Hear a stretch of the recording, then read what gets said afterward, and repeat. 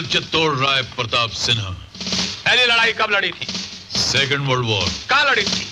France. कौन से शहर में। मार्सेल। डेट क्या थी? 20th अक्टूबर 1942 तेरी बेटी का नाम क्या है? अनीता। और तेरी ज़िंदगी का मकसद क्या है? मेरी वर्दी मेरा फ़र्ज़ देश से मोहब्बत। और तेरा दुश्मन कौन है?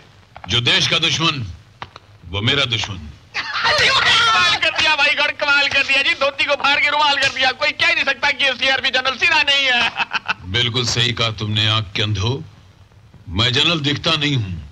मैं सचमुच जनरल चित्तौड़ राय प्रताप सिन्हा हूँ। अरे तो हमने कब कहा कि नहीं है तू? मकारी की मिट्टी से जन्म लेने वाले गद्दारी के पौधे। तो जिस दिन पहली बार हमारे पास टैंक बेचने आया था हमने उसी दिन पहचान लिया था कि तू वो जहरीला सांप है। जो देश के गर्दन में दांत गाड़ के कभी भी काट सकता है। तू एक रैग एक्टर लाया हमें गायब करने के लिए। मगर हमने उसे पहले दिन ही गायब कर दिया और उसके बदले हम तेरे साथ रहने लगे। मतलब हम एक जनरल को एक्टर समझकर राज बताते रहे और उसे ट्रेनिंग देते रहे।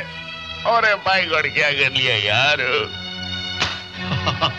अब हंस को रहे हैं सर। हमें अपनी एक्टिंग पे नाज है। क्या दुनिया का कोई एक्टर हमारी जैसी एक्टिंग कर सकता है? सर आप क्या कर रहे हैं? हम खुजा रहे हैं। अरे भाई तो बड़ा देख। मारना नहीं गाली नहीं। हम तालियाँ सुन सकते हैं मगर गालियाँ नहीं सुन सकते। टमाटर खा सकते हैं मार नहीं खा सकते। समझ गया। डार्लिंग। Sorry sorry